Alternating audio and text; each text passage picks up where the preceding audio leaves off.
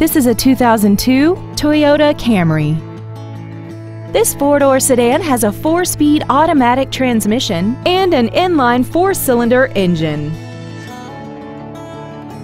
All of the following features are included.